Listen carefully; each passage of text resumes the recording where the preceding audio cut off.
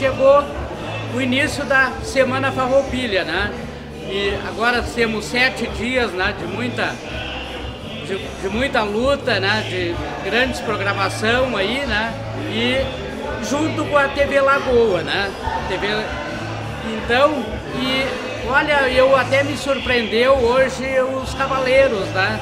Grande número buscar a chama na, na praça e vim até o, o CTG. E de agora, de agora em diante, a partir das 6 horas, já vai ter as escolas, né? E começa a programação, né?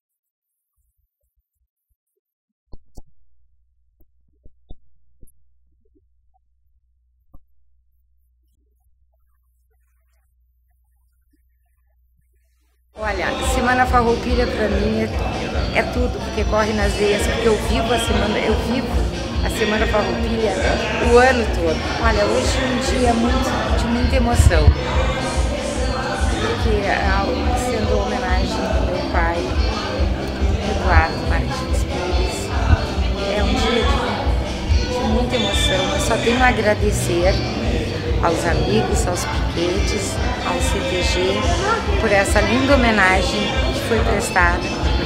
Então, em nome, meu nome, em nome da família, eu agradeço.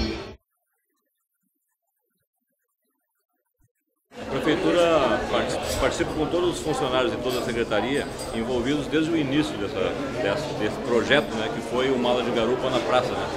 E automaticamente nós levaríamos a chama para a Prefeitura, deixamos na praça porque a praça é o nosso cartão de visitas e onde congrega todo mundo.